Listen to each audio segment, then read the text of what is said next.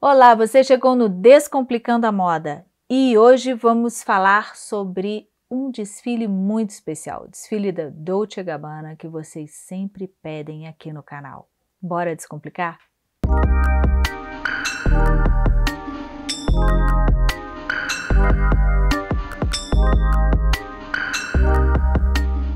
Bom, vou logo pedindo se você gostou, compartilhe, deixe seu like, se você é inscrito no canal, muito obrigada. Se não, se inscreva.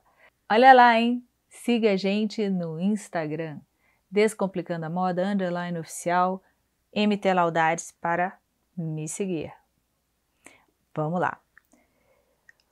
Bom, a música que toca logo de início, a trilha sonora do desfile, é Save Your Tears do Weekend.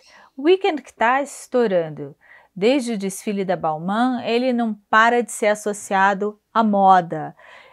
Tocou no Super Bowl, o filho da Chiara Ferragni cantando, ou seja, Weekend, moda, estão ali. E muito interessante que a música canta, toca o tempo todo Save your tears for another day. Salve ou guarde suas poupe suas lágrimas para outro dia. E eu acho que é bem esse desfile que vem carregado de informação para você chorar outro dia. Agora é viver. Vamos dar uma olhada? Tudo começa com essa coisa do o próximo capítulo, Dolce Gabbana, e eles fizeram um, um, robô, ou seja, eles estão entrando nessa na tecnologia, eles quiseram dar esse input muito grande para a confecção desse robozinho que ele fala, ele fala que quer aprender a desenhar na, no, nos posts anteriores, que os posts que antecedem, que anunciam o desfile. Aí ele chega, olha que bonitinho, todo um projeto todo especial para mostrar que Dolce Gabbana tá ligado a tecnologia. Ele anda, ele fala, ele conversa, e aí tem essas pessoas, eu não diria robóticas, mas tecnológicas, onde se a tecnologia e a robótica permite um pouco de quase tudo, as pessoas que criam os robôs também podem se beneficiar de um pouco de quase tudo, ou de quase tudo um pouco, eu não sei, cabelo azul, uh, uma miríade de cores uh, que não saem da natureza, que lembram muito a neopsychedelia, que é o que foi derivado da, do New Wave, ou seja, a gente está falando justamente aí do nascimento da marca, que é Uh, em 85 a marca nasce e aí atinge muito uh, seu glamour nos anos 90.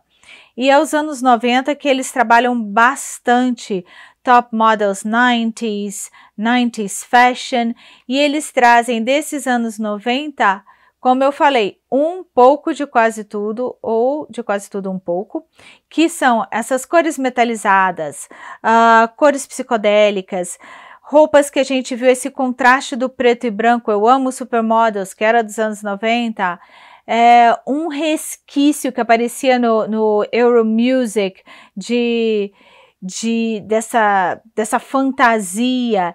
E aí a gente vem com coisas, com peças que fizeram muito a história do Dolce Gabbana, como o de dentro sai para fora, que é a exposição do interno, que é a lingerie. Quando a gente usa a lingerie como moda, que é o que o Dolce Gabbana sempre usou, a gente tem toda uma leitura aí também desses corsês, de tudo muito colado, esse decote coração que é muito uh, Dolce Gabbana, roupas coladas, os metalizados, os vernizes, o o espacial. Então a gente tem uma referência aí a Claude Montana, a, a, a esse oversize do japonismo também dos anos 90, patchwork, uh, essas botas que lembram muito Dr. Martens, o plástico, o plástico era, o vinil era muito usado pela Dolce Gabbana, essa, essa coisa meio tweed tem muito, muito de Chanel.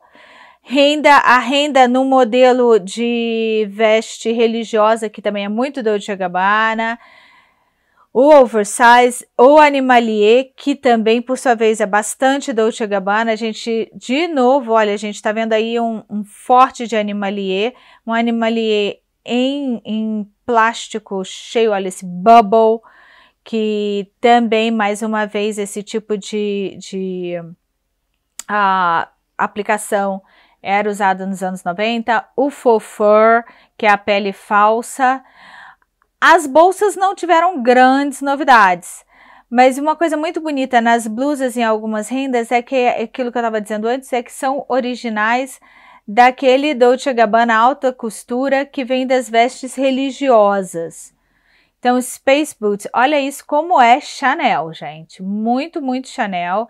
Esse cute. Então, assim, é um, um, uma coisa divertida. A lingerie que faz parte da, da Dolce Gabbana. Roupas curtas, cintura muito marcada. Toda a hereditariedade da marca está sendo vista aqui. A desconstrução com zíper que a gente viu na Rei Kawakubo como de garçom, a gente viu essa repensar com, com zippers e, e alfinetes no Versace. Olha aí o, Blink, que também falou bastante com o Dolce Gabbana, numa peça que lembra muito Paco Rabanne. Então eles colocaram muita informação de moda, um futurismo, os ombros largos dos anos 80 e 90, lembrando aquela, aquele esportivo, mas um esportivo uh, muito americano transparências na, nas meias calças, olha o tanto de pérolas concorrentes, mas de um apelo bem punk chique, uma coisa rocker, mas um rocker chique, que sempre foi a pegada do Dolce Gabbana, da Dolce Gabbana como marca.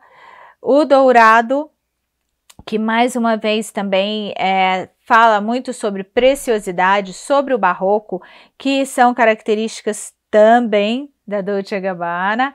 Então é um, é um desfile assim muito dentro da técnica que eles são capazes de fazer e de um barroco, ou seja, uma riqueza eclética de modelos e detalhes e informações de moda.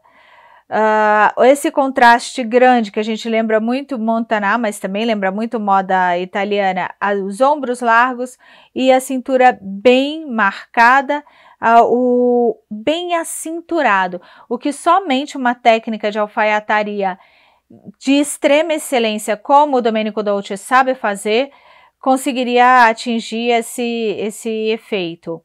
E aí todo esse colorido que de novo vem lá do New Wave dos anos 80, que vai gerar o Neopsychedelic dos anos 90, vai comunicar essa jovialidade essa coisa de deixa suas lágrimas para outro dia e bora viver e vamos ser tudo aquilo que você quiser, que você sonhar, tudo aquilo que a moda pode lhe dar, sendo qual for a, a sua tribo, né? Porque aqui a gente tem uh, peças que têm um apelo sexual, tem um apelo sensual e peças também extremamente elegantes e joviais.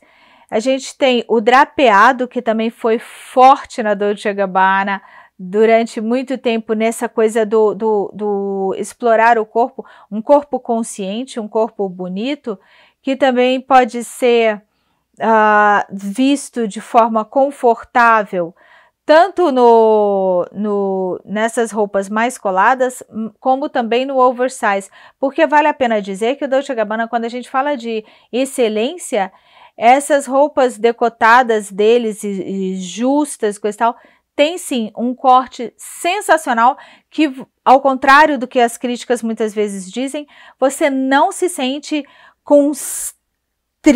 constrita ou seus passos impedidos. Não, o corte deles é, e por isso que, que ficou e fica até hoje, tão desejado, porque é algo confortável sim.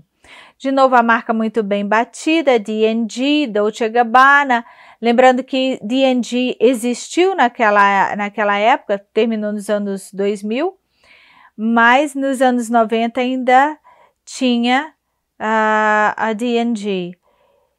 E é isso, um conforto, pode ser clichê, mas não, olha, eles, o, o, a dupla se despede pelo painel, enquanto lá o, o robozinho tá dando tchau. Então, o robô que apresenta a coleção e o virtual é o ser humano. Então, fica esse jogo: o ser humano que fez a roupa, que está no virtual, no físico presente, uh, relacionando com, com as modelos e modelos, os seres humanos, está o robô, que é tecnológico, mas feito pelo homem.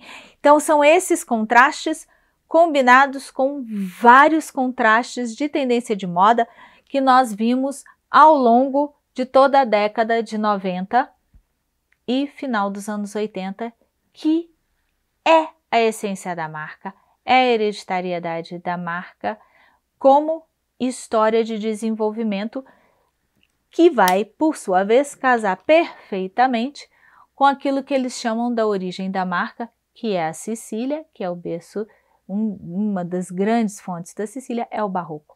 E o barroco é essa profusão de é, eclética de estilos. Eu acho que é isso que a gente viu. Beijo para você. Deixa seu comentário aqui que eu tô sempre lendo. Beijo.